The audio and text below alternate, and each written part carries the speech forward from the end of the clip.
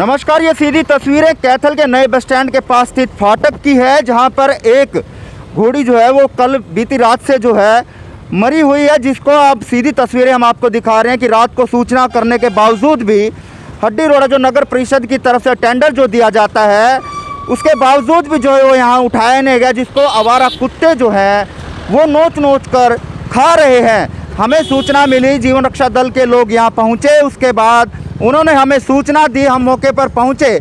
उनसे हम जानना चाहेंगे कि क्या कुछ पूरा मामला है, क्या कुछ वो जानकारी देना चाहेंगे। इस विषय में बात करें। जीवन रक्षा दल के प्रधान है राजू और वो सर, क्या कुछ पूरा मामला, क्या कुछ जानकारी देना चाहेंगे? सर, ये कैथल का मेन बस स्टैंड है नया बस स्टैंड है। उसके पास ही ये कॉलोनी है बक्सी कॉलोनी है। और ये फाटक यहाँ पर बिल्कुल आवाजाही रहती है। और यहाँ पास ही आज शहीदी दिवस है।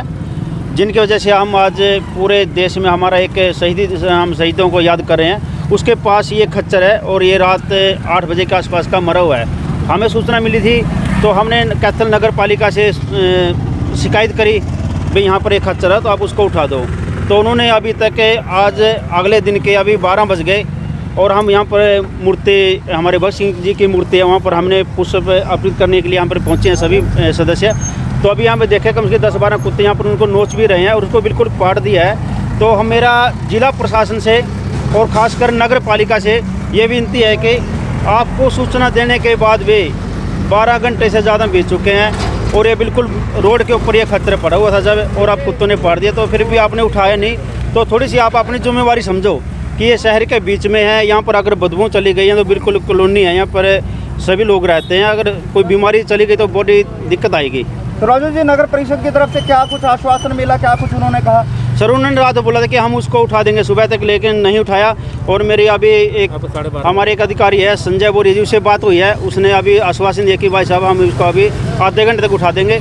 तो हम यहाँ पर खड़े हैं देखते हैं आधे घंटे तक अगर आ गए तो ठीक है नहीं तो दोबारा हम फिर फ़ोन से संपर्क करेंगे उनसे। तो राजू जी क्या मानते हैं कि इसका जो हड्डी रोडे का जो काम है उसका लाखों का टेंडर छूटता है लेकिन बिल्कुल। जिस तरह से तस्वीर सामने आई है कहीं ना कहीं फिर इसमें भी भ्रष्टाचार जो है सामने साफ़ तौर पर देखा जा सकता है क्योंकि अभी तक अधिकारी जो इसका जिस ठेकेदार के पास टेंडर है वो अभी तक नहीं पहुँचा है। सर हम तकरीबन तकरीबन हम थोड़े एक्टिव रहते हैं शहर में और ये जानकारी देते रहते हैं कहीं पर अगर कोई गाय है या कोई खच्चर है या कोई घोड़ा है तो जितनी बार भी हमने सूचना दी है तो बहुत कम ही बार उन्होंने उठाया, नहीं तो हमने बार बार ऐसे ये बार बार सूचना देनी पड़ती है, जब जाके इसको उठाया जाता है। बिल्कुल, जीवन रक्षा दल जो है, हमेशा से समाज सेवा के हितों में रहा है और कोई भी अगर शहर में किसी तरह की समस्या है, उसको लेकर आगे रहता है, चाहे वो गाँव को लेकर हो, अगर कहीं गए जो है, वो किसी नाले में फंसी हुई है तो वहाँ पर भी जो है पहुँचता है, कोई किसी को चोट लगे तो जीवन रक्षा दल जो है हमेशा वहाँ पर उनकी मदद के लिए पहुँचता है। वहीं लावारिश डेड बॉडियों की भी जो है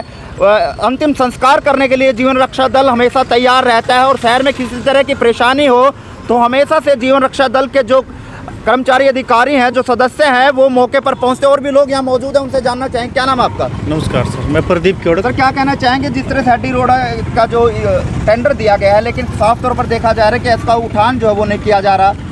सर, देखिए, जैसे हड्डी रोडा का टेंडर दिया गया है, लेकिन उनकी ज़िम्मेदारी बनती है कि जैसे उनको सूचना मिले तो सूचना को मद्देनज़र रखकर वो उनको वहाँ समस्या का तुरंत समाधान करना चाहिए। लेकिन हमारी जीवन रक्षक दल संस्था को, किसी भी सदस्य को, कहीं पर भी कुछ पता लगता है ऐसा तो हम वहाँ तुरंत पहुँचते हैं। हम देखते हैं, इंतज़ार करते हैं कि प्रशासन की तरफ़ से कुछ हो। अगर ऐसा कुछ नहीं होता तो हम अपने खर्चे पर हमने तो सर ये करना ही करना है क्योंकि हमें शहर प्यारा है शहर के लोग प्यारे हैं और एक एक स्वच्छता साफ़ सुथरा वातावरण हमने शहरवासियों को तो यहाँ किस तरह की समस्या देखी गई और उससे क्या कुछ दिक्कत जो है आपको सामने दिखी? आ, समस्या सर आप देखिए सामने ही हमारे शहीद भगत सिंह आज जिनकी आज जयंती है हम यहाँ पर पुष्प अर्पित करने आए थे। सूचना का हमें रात को ही पता था हमने देखा कि उठा दी होगी लेकिन अभी तक नहीं उठाई है फिर हमने फिर तुरंत मैसेज डाला और आपके माध्यम से हमने आपको, आप आए यहाँ पर, आप कहीं ना कहीं हमारी आवाज़ को प्रशासन तक भी पहुँचाएँगे और हम इसको अगर आप देखना, आपके सामने अगर कोई आता है तो ठीक है, नहीं तो हम यहाँ पर जे बुलवा बुलवा कर इसको यहीं पर दफन करवाएँगे।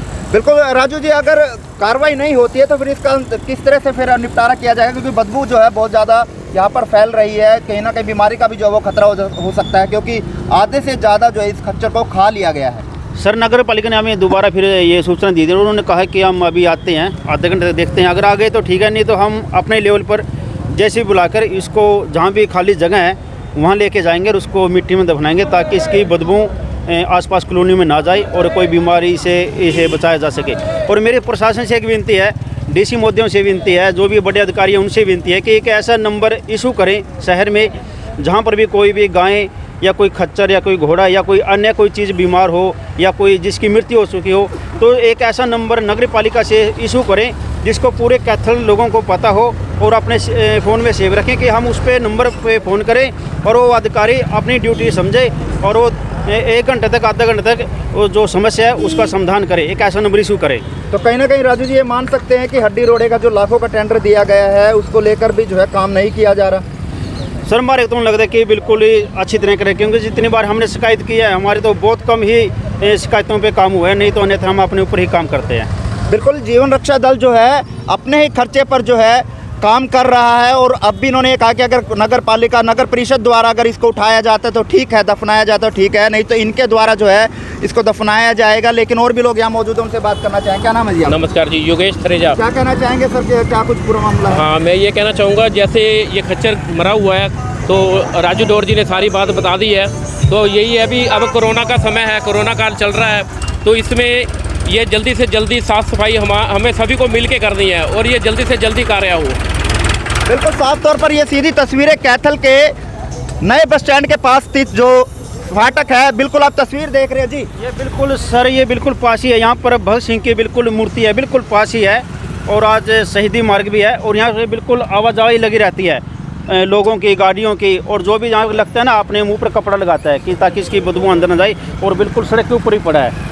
तो हमारी विनती है कि जल्दी से जल्दी इसको उठाया जाए, नहीं तो अन्यथा हम इसको उठा के दफनाएँगे। तो राजू जी, एक बार हम दोबारा से जिस व्यक्ति को आपने फ़ोन किया था, आप उनको एक बार नंबर लगाएँ, क्या कुछ वो कहना चाहेंगे? एक बार उनसे बातचीत हम करना चाहेंगे ताकि प्रशासन के पास भी आवाज़ जो है वो पहुँच सके तो पता लग सके कि जो ठेकेदार है या नगर परिषद के जो कर्मचारी हैं, उनके द्वारा क्या कुछ कार्रवाई की जा रही है, ये भी हम आपको सुनवाएँगे कि उस व्यक्ति द्वारा क्या कुछ कहा जाएगा, क्या कितनी जल्दी इसको उठाने का काम जो है किया जाएगा क्योंकि लाखों रुपए का टेंडर जो है वो हड्डी रोडे का जो है नगर परिषद की तरफ़ से छोड़ा जाता है। लेकिन क्या कुछ कहना चाहेंगे इस बात पर हम जानना चाहेंगे? बोलिए जी। सर राजू डोल बोल रहा हूँ। जो अभी आपने के साथ बात हुई थी। अभी आने लग रहे हैं। मंडी में है वो पशु उठाने गए हैं हाँ। वहाँ से सीधे यहीं आएँगे तो ठीक है सर मैं हम यहीं खड़े आ जाऊँगा आधे घंटे तक आ जाऊँगे ना? हाँ आ जाएँगे। ठीक है सर आपका धन्यवाद होगा। थोड़ा जल्दी करना सर सड़क पे पड़ा है। संजय भोरिया जी पिछले दिन जो शिकायत की थी इसकी उठाने के लिए अभी तक नहीं उठाया गया। क्या रहा सर क्यों अभी तक नहीं उठाया गया? सर नगर परिषद में दो दिन पहले एक कल शाम को जो है सूचित कर दिया गया था लेकिन अभी तक इसको उठान जो है वो नहीं किया गया। हमारे हमारे पास अभी राजू जी का ही फ़ोन आया है और किसी का फ़ोन नहीं आया सर तो इससे पहले कोई नगर परिषद से आपके पास कोई फ़ोन नहीं आया सर?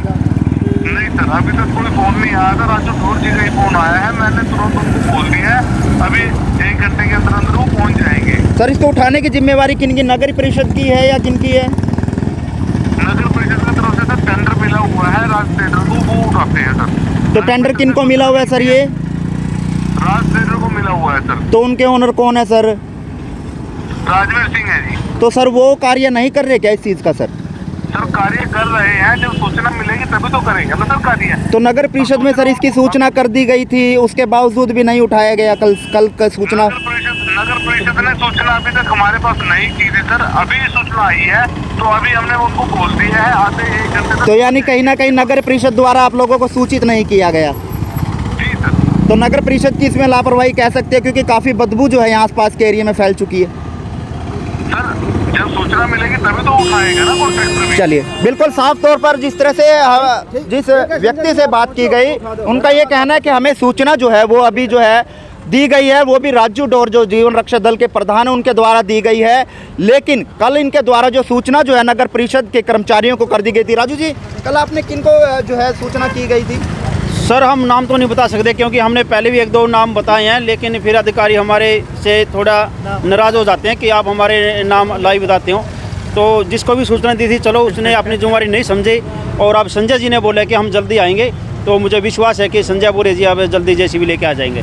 बिल्कुल, टेंडर जो है, लाखों रुपए का टेंडर जो है अड्डा रोडी का, वो छोड़ दिया जाता है और ठेकेदार जो है, उसको ले लेता है। लेकिन नगर परिषद में जिस तरह से कल सूचना दी गई उसके बावजूद भी जो है नगर परिषद के कर्मचारी द्वारा आगे ठेकेदार को जो है सूचित नहीं किया गया और जिसके बाद जो है अब जो रक, जीवन रक्षा दल के जो लोग हैं सदस्य हैं यहाँ वो पहुँचे उन्होंने जब देखा कि ये काम नहीं हुआ तो अब जो पार्षद है संजय बोरिया जी, उनको सूचित किया गया और उनको, उनके द्वारा जो आश्वासन दिया कि अभी हम पहुँच रहे हैं और इसको उठाकर जो है, वो जो है दफना दिया जाएगा। लेकिन देखना है कि अब कार्रवाई कितनी देर में होती है, लेकिन कहीं ना कहीं साफ़ तौर पर यहाँ के आसपास इलाके में जो है, वो जो बदबू है वो फैलती जा रही है, जिसको लेकर जिसको लेकर नगर परिषद की लापरवाही जो है साफ़ तौर पर दिखाई दे रही है, क्योंकि नगर परिषद के कर्मचारियों को सूचित इस बारे में कर दिया गया था, क्योंकि हड्डी हड्डी रोड़ा उठाने के लिए कोई भी नंबर जो है वो नगर परिषद द्वारा या ठेकेदार द्वारा कहीं भी प्रदर्शित जो है वो नहीं किया हुआ कि कोई व्यक्ति अगर इस तरह की घटना या कोई ऐसा